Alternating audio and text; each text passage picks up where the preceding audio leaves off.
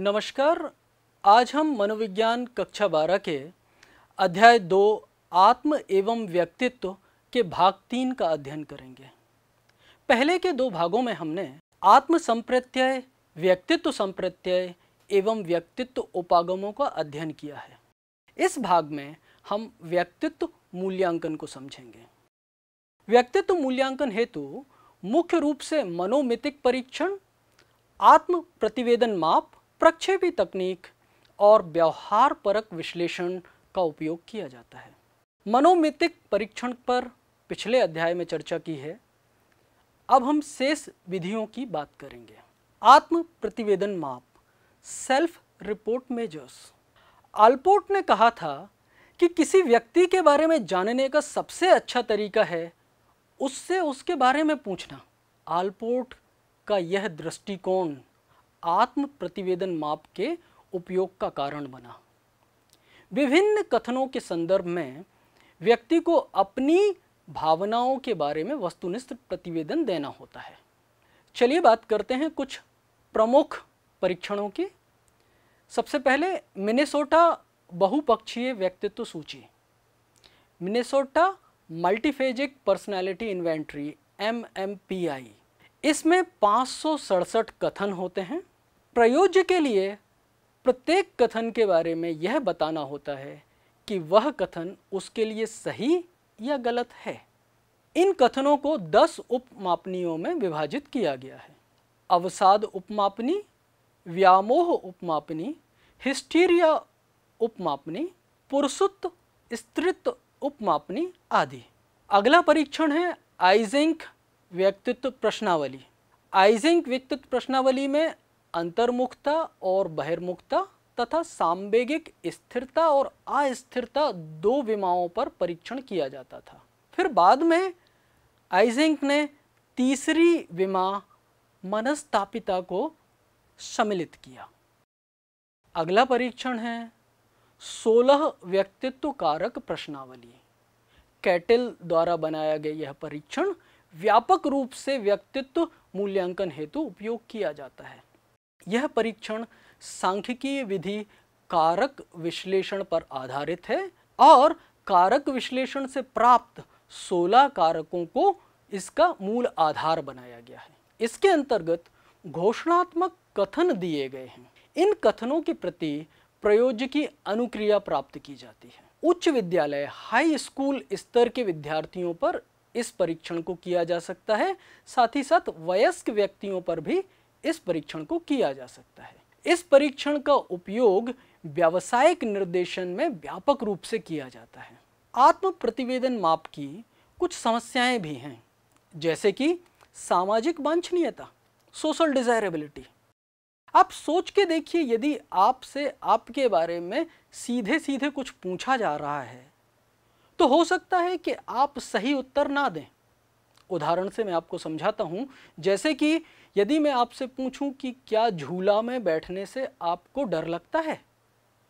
तो हो सकता है कि आपको डर लगता हो, लेकिन आप बोल दें नहीं लगता है। या यूँ मैं आपसे पूछूँ, क्या आपको अकेले में डर लगता है? तो हो सकता है आप बोल दें नहीं लगता है। सामाजिक वांछनीयता के कारण हम अपनी वास्तविक अनुक्रिया देने की बजाय गलत अनुक्रिया दे सकते हैं। दूसरी समस्या है अनुमनन की। अनुमनन की समस्या का मतलब है कि प्रश्न की विषय वस्तु को समझे बिना उस विषय वस्तु से सम, सहमत हो जाना। हाँ अनुक्रिया सभी तरह के प्रश्नों के लिए दे देना। इस तरह की समस्याओं से निपटने के लिए एक दूसरे तरह की तकनीक हमारे सामने है, जिसको हम प्रक्षेपी तकनीक कहते हैं, प्रोजेक्टिव टेक्निक्स। प्रक्षेपी तकनीकों की कुछ विशेषताएँ हैं, जैसे कि यह अचेतन अभिप्रेरणाओं और भावनाओं का मूल्यांकन करती हैं। वो अचेतन अभिप्रेरणाएँ जिनके बारे में प्रयोज खुद जागरूक नहीं है। असंरचित उद्दीपक व्यक्तियों को अपनी भावनाएँ, इच्छाओं और आवश्यकताओं को प्रक्षेपित करने का मौका देता है। व्यक्ति जिसका मूल्यांकन किया जा रहा है, उसे मूल्यांकन के उद्देश्य या अंक प्रदान करने की विधि के बारे में नहीं बताया जाता। सबसे पहले हम बात करते हैं इस श्रेणी में रोशाक मसीलक्ष्म परीक्षण, या इसको रोशाक स्याही के धब्बों वाला परीक्षण भी बोलते हैं। यह बड़ा व्यापक रूप से उपयोग किया गया परीक्षण है। इस परीक्षण में दस कार्ड होते हैं। पाँच कार्ड काले और सफ़ेद होते हैं। दो कार्ड लाल रंग के साथ होते हैं। और तीन कार्ड रंगीन होते हैं। यह कार्ड स्याही के धब्बों से बनाए गए हैं। इस परीक्षण को करने के लिए हम इसको दो भाग में संचालित करते हैं। सबसे पहले निष्पादन उपयुक्त परफॉर्मेंस प्रॉपर इसमें हम स्याही का धब्बा दिखाते हैं। वो कार्ड दिखाते हैं जिस पे स्याही का धब्बा होता है। अभी एक स्क्रीन पर आपके सामने एक चित्र दिखाई दे रहा है। इस चित्र में एक तरह का धब्बा दिखाया गया है। यह एक कार्ड का प्रतिरूप है। तो पहले भाग में हम यह पूछते हैं कि आपको क्या दिख रहा है। दूसरा भाग होता है इंक्वायरी सेक्शन या फिर पूछताछ भाग। इसमें हम व्यक्ति से यह पूछते हैं कि आपको जो दिखाई दिया था, वह क्यों दिखाई दिया था? किस कारण से आपको वह दिखाई दिया था? क्या निर्धारक था? इस तरह से हम इसकी आगे की स्कोरिंग करते हैं। इस प्रकार व्यक्ति के अचेतन मन में छुपी अभिप्रेरणाओं और आवश्यकताओं के बारे में हम जान पाते हैं। इस श्रेणी में अगला परीक्षण है कथनात्मक संप्रत्यक्षण परीक्षण, या इसको प्रसंग बोध परीक्षण भी कहा जाता है थेमेटिक अपरसेप्शन टेस्ट इस परीक्षण में 30 कार्ड होते हैं। कार्ड, पुरुष वर्ग, महिला वर्ग, बालक वर्ग, या बालिका वर्ग, या फिर संयुक्त कार्ड हो सकते हैं। अर्थात कुछ कार्ड ऐसे हैं जो बालक और बालिका दोनों के लिए उपयोग किए जा सकते हैं। एक व्यक्ति हेतु हम आमतौर पर 20 या 20 से कम कार्ड का उपयोग करते हैं। इस कार्ड का उपयोग करने के लिए हम, जैसा कि स्क्रीन में चित्र दिखाया गया है, हम कार्ड दिखाते हैं और व्यक्ति से पूछते हैं कि इस चित्र के आधार पर आपको एक कहानी व्यक्त करनी है, एक कहानी आपका वर्णन आपको करना है। और कहानी के वर्णन में आपको तीन बातें ज़रूर बोलनी हैं कि इसमें क्या घटित हो रहा है, इसके पहले क्या घटित हुआ होगा और आगे क्या घटित होगा, और साथ ही साथ चित्र में बताए गए पात्रों के बारे में भी चर्चा करने के लिए कहा जाता है। अगला परीक्षण है रोजनबेक का चित्रगत कुंठा परीक्षण। इस परीक्षण में कुंठा उत्पन्न करने वाली स्थिति में लोग कैसे व्यवहार करते हैं, इस बात को जानने के लिए कुछ ऐसे चित्र प्रस्तुत किए जाते हैं जिनमें दो व्यक्ति होते हैं और दूसरा व्यक्ति जो होता है, वह पहले व्यक्ति के कारण से या कुछ परिस्थिति के कारण से कुंठित हो रहा होता है।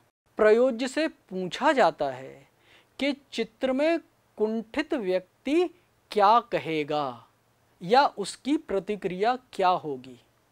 इस तरह के परीक्षण से हम व्यक्ति की आक्रामकता, वह वातावरण के प्रति है या स्वयं के प्रति है इसका हम आकलन कर सकते हैं। प्रक्षेपी परीक्षणों की श्रेणी में अगला परीक्षण है वाक्य समापन परीक्षण या वाक्य पूर्ति परीक्षण। वाक्य समापन परीक्षण में हम प्रयोज्य को कुछ ऐसे वाक्य देते हैं जो पूर्ण नहीं होते हैं। प्रयोज्य से ये कहा जाता है कि इन वाक्यों को पूरा कीजिए। जैसे मेरे पिता खाली छोड़ दिया। अब प्रयोज्य को आगे इसके आधार पर एक वाक्य बनाना होता है। वह यह भी कह सकता है, मेरे पिता अच्छे इंसान हैं। मेरे पिता बड़े ही क्रोधी व्यक्ति हैं। या मेरे पिता मुझे प्रेम करते हैं। यह उसको अपने अनुभव के आधार पर कहना होता है। मेरी माँ की अच्छी बात, खाली स्थान छोड़ दिया हमने। मुझे भय है। या फिर किसी और वाक्य को हम अधूरा छोड़ देते हैं और प्रयोज्य उसको पूर्ण करता है। प्रयोज्य वाक्य को कैसे पूर्ण करता है, उसके आधार पर हम उसके व्यक्तित्व का आकलन या मूल्यांकन करते हैं। इस श्रेणी का हमारा अगला परीक्षण है, व्यक्तांकन परीक्षण ड्रा अ पर्सन टेस्ट इस परीक्षण में हम प्रयोज्य से कहते हैं कि वह किसी व्यक्ति का चित्र बनाए। एक कागज़ और पेंसिल दे दिया जाता है। और कहा जाता है कि वह व्यक्ति का चित्र बनाए।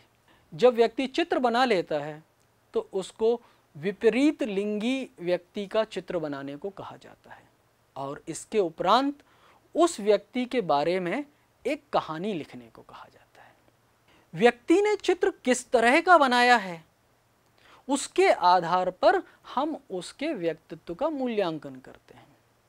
उसने चेहरा किस तरह से बनाया है? चेहरे का लोप तो नहीं कर दिया है। चेहरे को गर्दन के साथ किस तरह से जोड़ा है?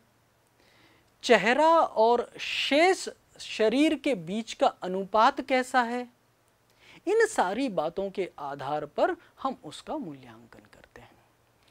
तो इस तरह से इन प्रक्षेपी तकनीकों के माध्यम से हम व्यक्तित्व को समझ सकते हैं, जान सकते हैं और जिस व्यक्ति का हम परीक्षण कर रहे होते हैं, उसे यह पता भी नहीं चलता कि किस बात का परीक्षण किया जा रहा है। इसलिए वह अपनी कोई भी बात मनोवैज्ञानिक से छिपा नहीं पाता है। कैसे कोई व्यक्ति ये बात छिपा पाएगा कि मुझे इस कार्ड में स्याही के धब्बे में क्या दिख रहा है? क्योंकि आपको जो दिख रहा है, वो सिर्फ़ आपको दिख रहा है। और आपको किस कारण से दिख रहा है, ये भी आपको बताना होता है। तो इसका कोई अर्थ व्यक्ति नहीं लगा पाता है और सही सच्ची अनुक्रिया देता है, जिससे एक कुशल मनोवैज्ञानिक उसका मूल्यांकन कर पाता है। चलिए अब हम लोग बात करते हैं व्यवहार परक विश्लेषण की। व्यवहार परक विश्लेषण में कुछ तकनीकें सम्मिलित होती हैं। सबसे पहले है साक्षात्कार विधि। साक्षात्कार दो तरह से हम लोग कर सकते हैं। पहला है असंरचित साक्षात्कार और दूसरा है संरचित साक्षात्कार। असंरचित साक्षात्कार में हम प्रयोज्य के सामने कुछ इस तरह के प्रश्न रखते हैं जिसमें वह मुक्त होता है अपनी अनुक्रिया देने के लिए, जबकि संरचित साक्षात्कार में उसे निर्धारित तरह की अनुक्रिया ही वह दे सकता है। कई जगह पे तो यह सीमा होती है कि हाँ या ना जैसी अनुक्रियाएँ उसको देनी होती हैं। इस श्रेणी में अगली तकनीक है प्रेक्षण। प्रेक्षण में यह आवश्यक होता है कि किसी प्रशिक्षित व्यक्ति द्वारा ही प्रेक्षण किया जाए। जिस व्यक्ति का हम मूल्यांकन कर रहे हैं वह अपने परिवार के व्यक्तियों के साथ, अपने अतिथियों के साथ या अपने वातावरण में वह किस तरह की अंतक्रिया कर रहा है, किस तरह का व्यवहार कर रहा है, इसका प्रेक्षण किया जाता है। तो एक कुशल प्रेक्षक अच्छी तरह से व्यवहार का प्रेक्षण कर सकता है। इस श्रेणी में अगली तकनीक है व्यवहार परक निर्धारण। इनको हम रेटिंग स्केल्स या व्यवहारात्मक रेटिंग भी कहते हैं। शैक्षणिक परिवेश या औद्योगिक परिवेश में इस तरह की रेटिंग का इस्तेमाल किया जाता है। इस तकनीक में हम ऐसे व्यक्ति से आकलन करने के लिए कहते हैं, ऐसे व्यक्ति से व्यक्तित्व का निर्धारण करने के लिए कहते हैं, जो कि मूल्यांकित किए जाने वाले व्यक्ति को अच्छी तरह से जानता है। या उसने ज़्यादा उसके साथ समय व्यतीत किया होता है, जो उसके व्यक्तित्व को समझता है। तो इस तकनीक में जो व्यक्ति उस व्यक्ति को अच्छी तरह से जानता है, जिसका मूल्यांकन हम कर रहे हैं, उससे हम उसकी योग्यताओं या उसकी व्यक्तित्व विशेषताओं के बारे में निर्धारण करने के लिए कहते हैं। हालाँकि इस तरह के व्यक्तित्व आकलन की विधि में कुछ सीमाएँ हैं। जैसे कि किसी अनुकूल या प्रतिकूल विशेषक से प्रभावित हो जाना। इसको हम लोग हालो इफ़ेक्ट के रूप से भी जानते हैं। जैसे एक कोई ट्रेट कि वह बुद्धिमान है, उस एक ट्रेट से व्यक्ति प्रभावित होकर बाकी सारे व्यक्तित्व के विशेषताओं के बारे में कुछ इस तरह से व्याख्या कर सकता है या इस तरह से निर्धारण कर सकता है जो कि सही नहीं है। दूसरे तरह की समस्या या सीमा इस विधि में है, वह है कि व्यक्ति छोर स्थितियों का आकलन नहीं कर रहा है, सिर्फ़ मध्य पे करता है। इसको उदाहरण से समझते हैं। जैसे एक व्यक्ति का का नामक एक व्यक्ति बुद्धिमान है, आपको एक से लेके पाँच तक के अंक देने हैं। तो यह संभव है कि कुछ लोग एक और पाँच जैसे छोर को छोड़ दें और सिर्फ़ मध्य में ही वह प्रतिक्रिया देते रहें। साथ ही साथ यह संभावना भी है कि कुछ जो आकलन करने वाले व्यक्ति हैं, वह मध्य को छोड़ दें और सिर्फ़ एक्सट्रीम छोर से संबंधित या तो पूरी तरीके से सकारात्मक या पूरी तरीके से नकारात्मक अनुक्रिया दें। इसके बाद अगली तकनीक है नाम निर्देशन नॉमिनेशन नॉमिनेशन तकनीक तब इस्तेमाल की जाती है जब हमारे सामने एक समूह उपस्थित होता है और समूह में व्यक्तियों के व्यक्तित्व का हमें आकलन या मूल्यांकन करना होता है। समूह के व्यक्तियों से कहा जाता है कि समूह में जितने व्यक्ति हैं, उनमें से एक या अधिक व्यक्ति का आप चयन कर लीजिए। वो चयन आप किसी एक खास कार्य के लिए कीजिए। हो सकता है वो खेल है, या फिर अध्ययन है, या फिर कोई अन्य क्रिया है। तो इस तरह से अलग अलग व्यक्तियों के द्वारा अलग अलग लोगों का चयन किया जा सकता है। इस आधार पे हम यह समझ पाते हैं कि उस समूह के अंदर किसी एक व्यक्ति की कितनी स्वीकार्यता है या उसको कितना पसंद किया जा रहा है। तो यह व्यक्तित्व मूल्यांकन हेतु नॉमिनेशन विधि है। अगला परीक्षण है स्थिति परक परीक्षण। इस तरह के परीक्षणों में जिस व्यक्ति का मूल्यांकन किया जा रहा होता है, उसको एक स्थिति दी जाती है। उस स्थिति में क्या बर्ताव हो सकता है, क्या उचित निर्णय हो सकता है, इसका निर्धारण उसे करना होता है। इस संदर्भ में सबसे प्रचलित स्थिति परक दबाव परीक्षण है। सिचुएशनल स्ट्रेस टेस्ट के रूप में जिसे जाना जाता है। दबावपूर्ण परिस्थिति में व्यक्ति का क्या व्यवहार होगा, इसके आधार पर उसका आकलन किया जाता है। तो इस तरह से आज हमने व्यक्तित्व के मूल्यांकन करने के विभिन्न परीक्षणों के बारे में जाना। ये परीक्षण हमने तीन श्रेणियों के परीक्षणों के बारे में जाना, जो कि आत्म प्रतिवेदन माप, प्रक्षेपी परीक्षण और व्यवहारात्मक विश्लेषण परीक्षण थे। धन्यवाद।